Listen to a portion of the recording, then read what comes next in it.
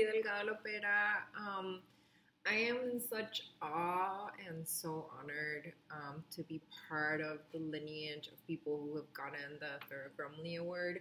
Um, it means so much to me to um, carry that history of LGBT fiction, of LGBT storytelling. It means just so much to me and to my heart um, that a book like Fiebre would even be considered. So I am extremely thrilled and very humbled and honored um, that I have received this award. And I thank the people at the Publishing Triangle and everybody uh, that's behind this award. I really, really appreciate it. It's such a like beautiful boost of like just confidence and like a nod to my queer heart that what I'm doing, you know, people are listening to. So it does mean a lot to me. It means a lot to my little queer immigrant heart.